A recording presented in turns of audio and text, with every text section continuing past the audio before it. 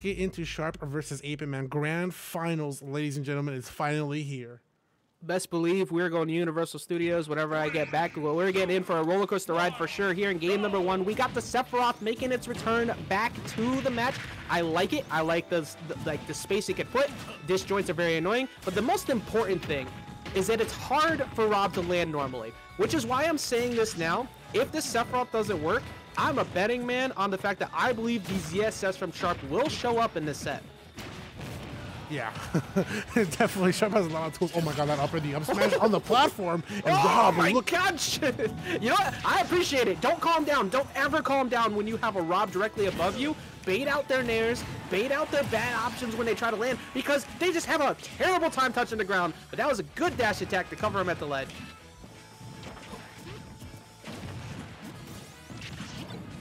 Okay, Sharp looking Okay. for a way to come back. He's got the wing activated, so he's got those multiple jumps. So he can take his way and move around a little bit differently when it comes back to stage like so. Get the cross up on 8-Bit Man and the back air here. He's got a bit of a lead, so he's got to learn to hold it. And that's the thing about Rob, too. If you give him the time of the day to even go for any kind of setup, he'll definitely take things against you. But what a play from 8-Bit Man, because he went for the gyro toss to cover the air and the forward smash to cover Rob. Because what's the one thing that Rob does when he tries to come back is take his time on the stage. So why not remove that entirely? Exactly. I'm gonna say it right now. I mean, he's not gonna let me like follow up with my statement. Never mind. I'm gonna keep it to myself. I was about to say. never mind. Sharp is gonna give him a stock. I was gonna. Okay, so I- I- I'll finish the statement. One of the most fearful people in this game, not just online, in this game, when they're playing with a deficit, is 8-Bit Man. 8-Bit Man turns it up when he is behind. So Sharp has to be very careful, continue to play exactly the way he's playing, and shut down any type of momentum and continue to punish these landings like so, because if you give 8-Bit Man an opening, we could be looking at 8-Bit Man taking a dub. I like the way that Sharp is playing right now. Yeah, 135 the forward air. Good way for Sharp to poke in. He sees that he's off the stage, man. That's a good edge guard for Sephiroth because he's got the range, the down tilt, no forward air, no back air. Okay, takes his time. What a great setup for Scintilla just because he knows how 8 Man can call him out here, but a little bit too early on the execution. It, you know what?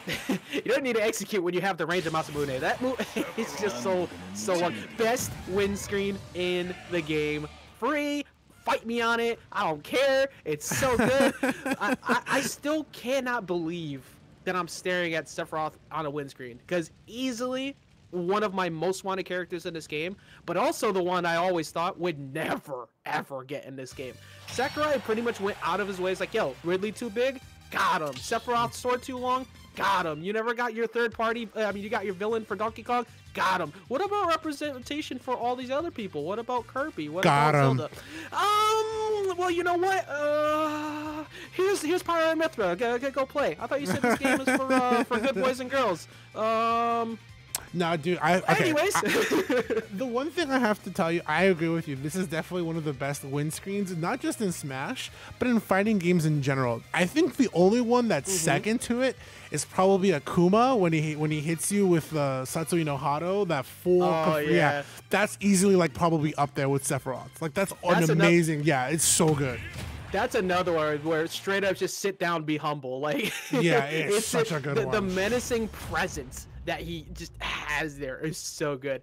Getting into game number two here, you know, I was sitting there saying I could definitely see the ZSS come out, but with the way that Sharp just played that match, I don't know if I want to see anything other than the Sephiroth for the rest of the night because this Sephiroth is putting in work. Yeah, I I am We happy are to not calling it Pythra. You cut that out right now. Please don't. We are not calling them Pythra. I am sorry. That is banned. You know what, Helvet? You might actually get a timeout for that one. I'm sorry, sir. All right. Well, It so is Pyra, it is Mythra, and y'all better be mostly playing Mythra, but that's a different story. But still, no, no Pythra, whatever that is. All right, back in this match though, before we get yelled at by YouTube comments. it's good.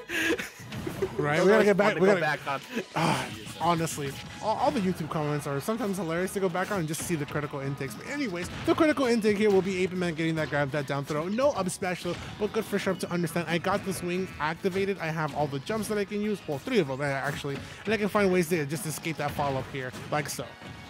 Yeah, you see 8 Man playing it much more closer to the chest now, right? He's willing to box with Sharp because before he was trying to just go ahead and like zone a bit, but play it safe. You don't want to overcommit when you have that much range on the opponent. But now he's like, no, no, I'm gonna play in your face because I have great boxing tools too. My down tilt's stupid. Uh, I have really good short hop fair, and, and he's keeping this game even until I decided to speak. He actually took the lead. Oh, good patience. I think that's the one thing that Sharp has been doing an excellent job of just calling out on 8-Bit Man. It's just looking to see how he's able to normally stall off the stage, but also use his tools as a whole, like able to just jump and go for an aerial, things like that. I think mm-hmm. that's the one thing I tell people the most is when you get on stage and you've landed your feet on the on the stage itself, don't overcommit because your opponent still holds a lot of things where they can just take it away from you, especially if you're trying to roll towards center stage.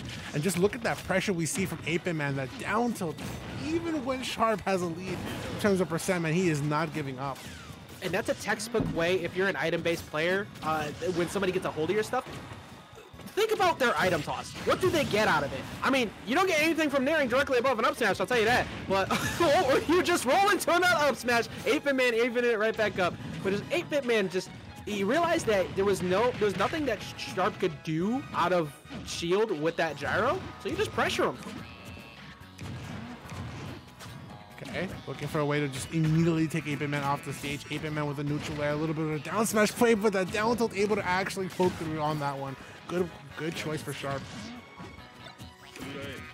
Oh, okay, so he finally finds a side B. Now what does he do with it? He forces him to go high. You gotta be careful up there, because I know it's definitely one of the safest options to try and recover high and then do a couple B reverses on landing or something, try and mix it up. But if you get hit all the way up there and that Masamune finds you with that up air, you're gonna be dead. So even though last stock, this is extremely close. Octa Slash oh, Reverse no. is actually gonna take it for sharp and I've said this time and time again, man. The crazy thing about Octa Slash is that it leaves Sephiroth very vulnerable when it comes to the recovery. But in tangent with that is that it's just its hitboxes and its multi slashes that connect to one another. It does him so many favors when it comes to a reversal yep. like that. Yeah, it really does. It's and that's one of those things too. Even though Sharp, uh, excuse me, uh, 8-Bit Man has plenty of time to maybe you know retreat, float backwards, try and avoid something usually you just want to get back on stage at that point. You're pretty low and you're kind of scared, so it's pretty common that you want to swing or you want to get in quickly, and that Octa Slash just covers so much, because even though you hold it the other way, you'll still snap on landing. So the fact that he's off stage, it's not as it's not as feasible to try and look for the punish on it because of the fact that your back is up against the wall. Right.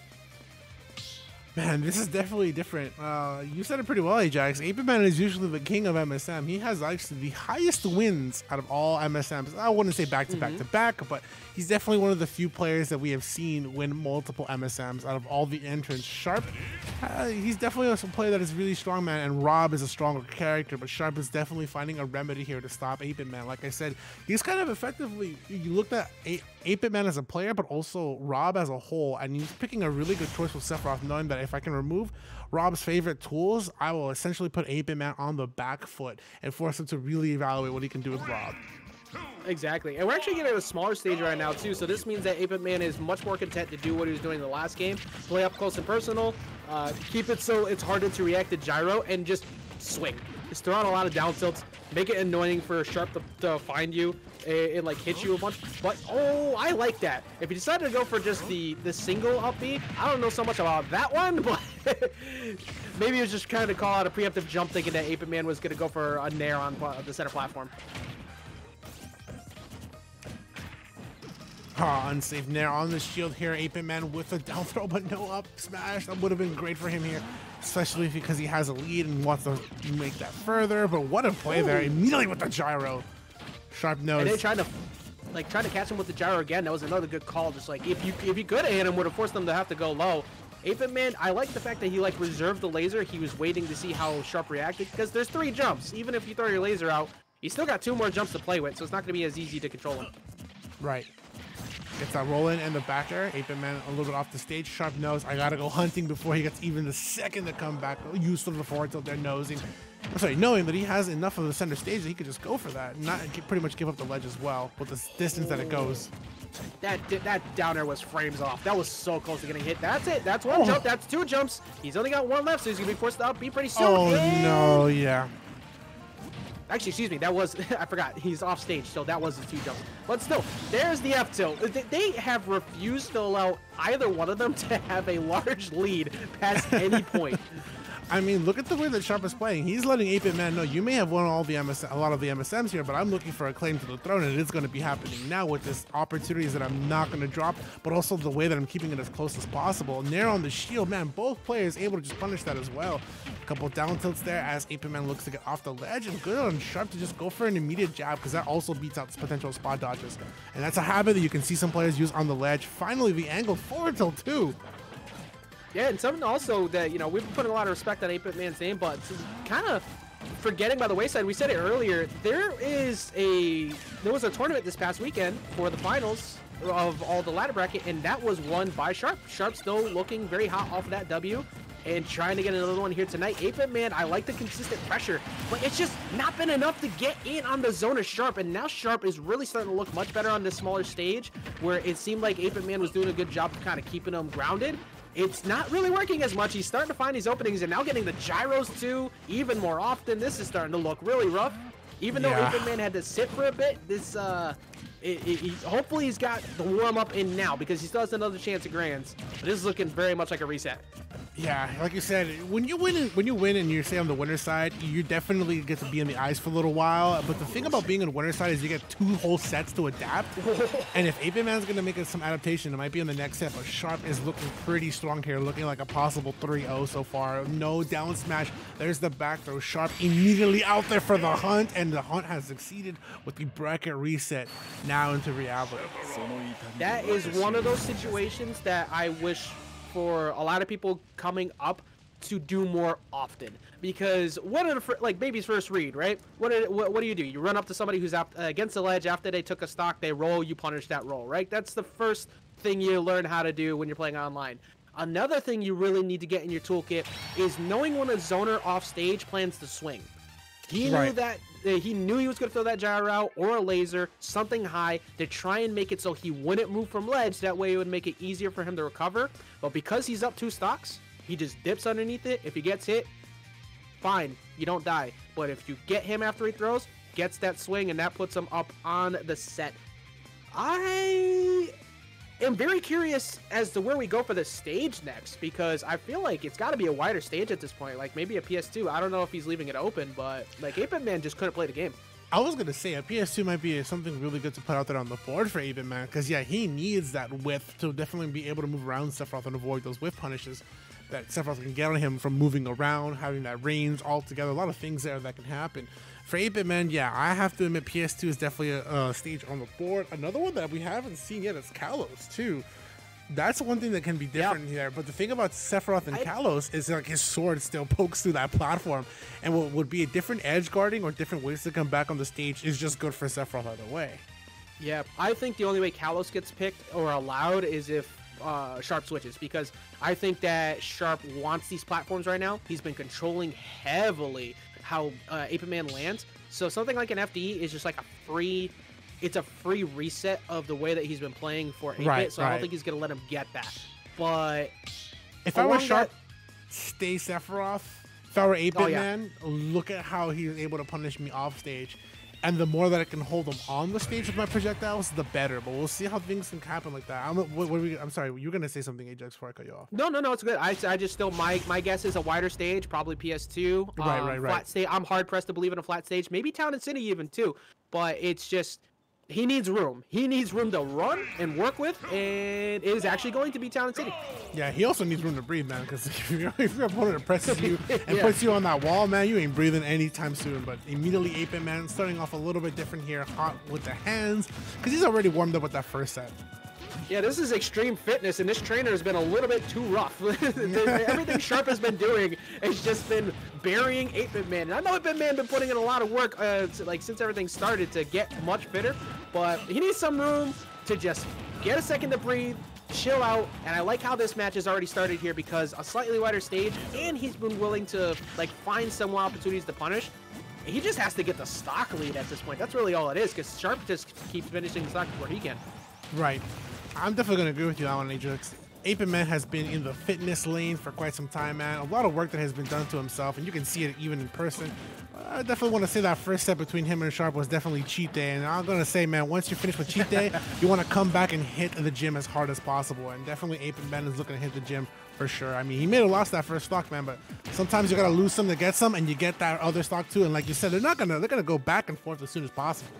I was gonna say I have no I have no fear whatsoever that 8 Man is going to get the stock at zero because I can't even I've lost track now at this point how many times they have finished the stock and then immediately took the other one. Not even with Angel Platform Invincibility, they just take it. This has been a scrap. I know some of these matches have played a little bit slower, it seems like it, but they're swinging. This could be an early stock. Lightweight Sephiroth gets caught for the first time so far, dying at 63%. Yeah, and honestly, for 8 Man, he needs to put out more of those on the table, man, because he will. That's the thing about Sephiroth. He's such a glass cannon that he he has that range. He has some really strong knockback, a lot of tools to edge guard you even off the stage. Recoveries, oh my god, there's plethora of tools. Biggest weakness, man, is he's looking like Mewtwo when it comes to that weight class. Yeah, pretty much. at least at least Masamune doesn't count as a freaking hitbox. But honestly, oh, there's the up smash again. He's caught him that with a uh, caught him with that a few times now, trying to land from the ledge. But you, this is actually one of the first times so far that we haven't seen Sharp immediately equalize the stocks, which works extremely well for 8 Man because he can do stuff like that. He can be willing to go for reads and maybe take a punish, but if he gets a trade, that's the game. Yeah. Oh, no trades indeed here. yeah, yeah. Honestly, I believed in my heart that he was dead just because of rage, that back air, and how light Sephiroth is. Oh. Well, he's dead now. And you know what was crazy is he dash attack on shield, which usually is not safe, but the gyro there for the assist. Man, that's the crazy thing about Rob, man. He looks like a Marvel character with with the gyro assist, man. I thought Zelda was a Marvel character with the assist that she pulls out, but mm -hmm. Rob too, man. He's got some crazy stuff with that gyro, man. Oh yeah, no, this is Doctor Doom at his finest. The only thing he doesn't have is foot dives, and thank goodness for that. Oh, thank God. Like, thank like God, hit, hidden missiles, hidden gyros. And nobody wants, nobody wants to deal with it. And, and he borderline has infinites with the way that he plays. He just takes stocks away. So uh, wins Marvel, baby. But I really like the way that 8 Man played that game because we said it before. Do you the think? thing is. Yeah, go on, go on. Uh, no, no, it's all good. I actually I just got happy because somebody finally did it. David Zoo coming in with the foot foot dive. I almost want to I, I want to give you like a I, I almost want to say I, I want to give you a high five. Thank you so much for knowing what I'm talking about. But oh yeah, look at this. That, what what did I say? I said if if the Sephiroth loses, the ZSS is going to show up. oh, most definitely, dude. I, I think I think for sure ZSS is a character that's really good for Sharp. Definitely one of the original mains that he had that people told me about. Not too sure. Please don't quote me on that. I just know that this was a character Sharp had used originally, and then of course his Joker definitely put himself up to par, and honestly, Joker was the character that got him here alongside Sephiroth. It's good for him to make the character switches with the adaptation that 8 Man has brought out that first game, because that adaptation was definitely needed in the first set. But like I said, the first set was cheat day, and now 8 Man is ready to hit the gym as hard as possible. Yeah, now the Extreme Trainer has come out. If anybody has ever played GTA 5 who can remember that really crazy runner, this is pretty much what ZSS is right now to Rob. It is so difficult for Rob to properly fight ZSS. Granted, he does have a good amount of ZSS practice, but ZSS just destroys everything Rob hates. His bad landing options, and she smothers him. Especially yeah. things like that Zair, that boost kick is not going to take it yet. Never oh. mind, I am a liar. I'm sorry. So first not going to, uh, to Sharp. Man, look, I'm telling you, man, the commentators have the holy trinity the future reads, the commentator's curse, and sometimes and occasionally the commentator's blessing. Sometimes we just straight up lie to you. uh, I like how now I like how Sharp is playing uh, this game. Now he has a stock lead. He's doing things like short hop fair, trying right, to play right. just within his range because you have to commit to that jump if you're going for the nair or the fair from from Rob. Every trade is in ZSS's favor right now. He's to stock up, and he's at KO percent. It's borrowed time. Get as much damage as you can. Oh, great use of that Zair to come back on the stage to cover the landing there after up air. Because that stopped 8 Man in his tracks. Sharp using that double jump. Also, that great movement that you have with ZSS. No down smash on the tech right there. But nonetheless, man, look at this lead that Sharp has put out here. 8 Man looking for an upper to stop her landings. I want to say, I kind of want to see a few more lasers coming out from 8 Man. Because like I said, when you have a very mobile character and you're a zoner, your best bet is to stop her movement as much as possible. But look at the back air from Sharp continuing this lead here. 155. I hope so too because the option coverage from Sharp right now is is taking everything. He's gonna cover the landing now, looking for the bad option. That time he gets mixed up with the Nair, so that's good for 8 Man. But you saw before the B reverse off the platform with the laser shot, covering pretty much everything. 8 Man has to find one of those nice early side BKOs, and now. Okay. Sharp on the return back to stage, no back air. Oof. Scary stuff indeed here. But look at the way that Sharp is just not letting go of this ledge. Like I said, I kind of want to see 8 Man find an opportunity like so, man, able to finally use the gyro to shut down Sharp at the ledge and buy his way back towards center stage. Great use of that second jump, though, to come off and watch his landing. Yeah, here we go. He's gonna dig deep off stage. I like it. Make sure that you don't let 8 Man feel like you can recover for Oh, free. no. That is game number two going to Sharp. I like how you said the second that you said that, man, he immediately gets the power laser into the boost kick. It covers so much. It covers so- like it- you're so safe with it because you cover with that. If they happen to preempt, if they buffer roll and they somehow get away from it, mash flip kick. You're getting away. Yeah. and like the most, the most that happens to you is you take a small punish, maybe a grab. So that was incredibly played from from Sharp, recognizing the situations where he needed to because you just you want to maximize that. I also just realized people are talking about DLC in chat. if Master you want, if you, I want That's Master it. Chief too. Yeah, I'm a huge Halo Master fan. Chief. Master Chief. Look, I all right. So the reason why I actually want Master Chief is because, and I actually also kind of want Crash Bandicoot too, is because those are the last of the the gaming icons for me growing up. That's the representative, like the, the apostrophe or quote uh, quotes uh, representative for Sony, and Master Chief is obviously the icon for Microsoft. uh, Xbox. Yeah. But I am still a firm believer that we're getting another DLC package, and I see this name floating around a lot in there, especially because Overwatch 2 is coming. I think Tracer has actually got a very high shot to get in this game. Oh, dude, definitely. I think, I think, I think Tracer has an opportunity. Oh, and there's speaking of opportunities, man. 8 man, on the character switch for a different set of Wait, was it opportunities, Diddy? man. On the Diddy, That's yes. the Diddy!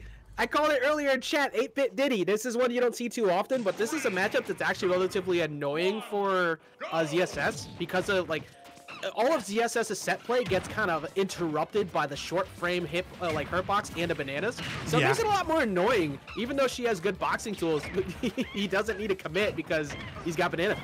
Yeah, and honestly, for for those of you guys watching on back at home, and just anybody who's been watching 2GG in general, for 44 MSMs in a row, man, we haven't really necessarily seen 8-Bit Man switch characters, and Sharp has definitely booked out on 8-Bit Man. It's gonna have to be the Diddy here versus the ZSS, and you can see how that pick is excellently doing wonders for 8-Bit Man so far here. There's 67 on 115.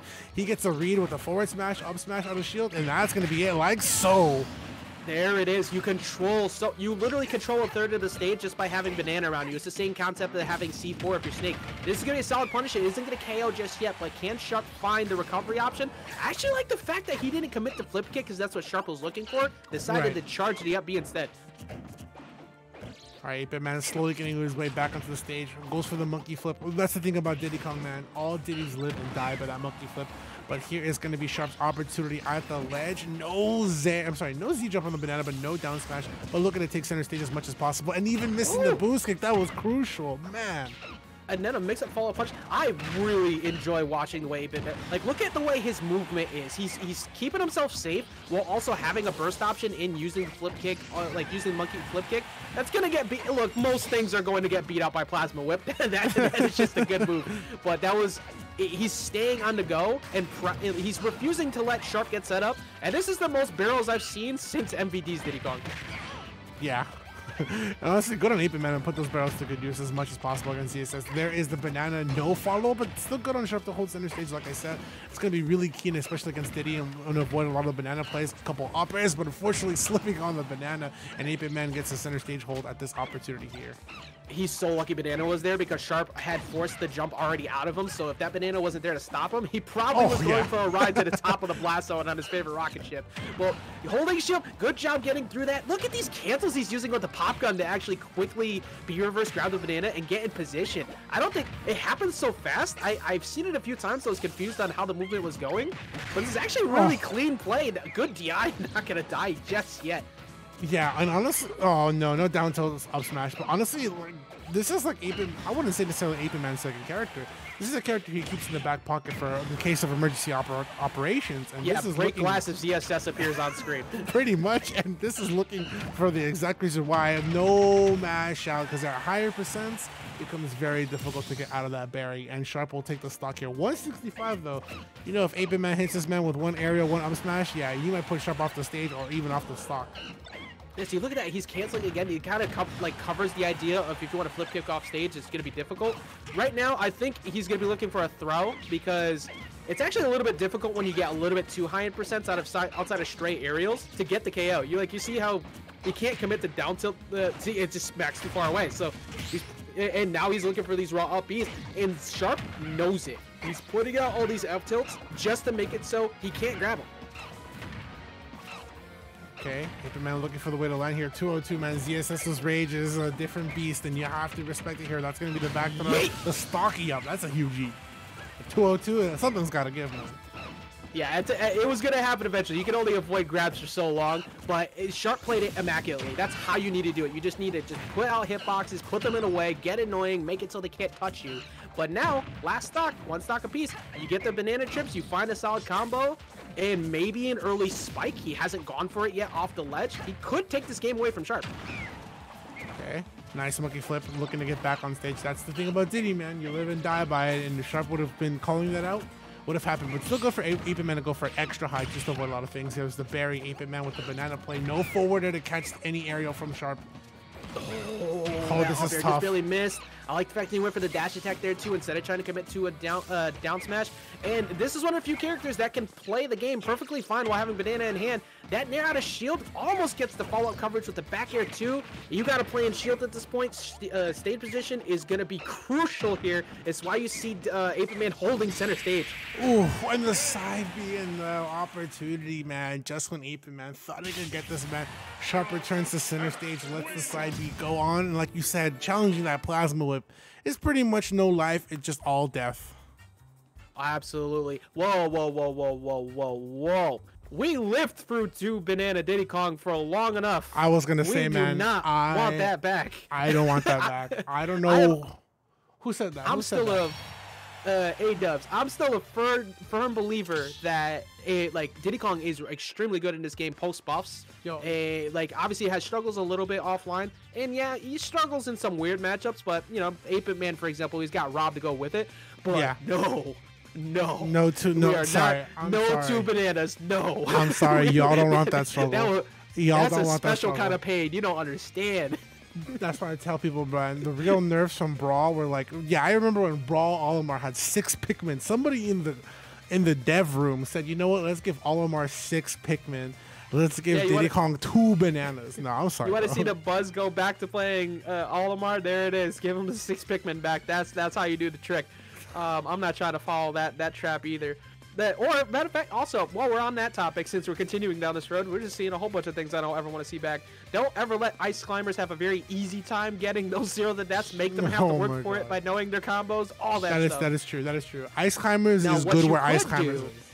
Now, if they what they want to do, if they could, if they could do this for me, bring back when down tilt from Ike used to spike at the ledge. If you want to do that for me real quick, hey, I appreciate you. That yo, Link, really Link cool. actually, Link used to actually have that in Smash 4. Like Smash 4, like pre-patch Link had down tilt and it would spike slowly, and it would be really, really nice. But uh, nah, straight up like before, like I, I like one of Ike's best actual options at ledge besides um the uh uh what what was it? Oh my god, like the mercenary walk, whatever it calls, uh, the jab cancel jabs. Oh right, right, down right, tilt used, to, yeah, d- down tilt. Because it was like a soft. Yeah, I, I, remember that was the craziest thing about Ike back in Smash 4. I still like Ike in Ultimate, but I will see because oh, I do too. This is this is his best iteration by far, not even close. But it's uh, if we could just add that too, that'd be great. All right, we're getting into the next game here, number four. We are on the reset. This could be Sharp taking the W away. I still like the fact that he committed to the Diddy Kong, a slightly wider Definitely. stage too.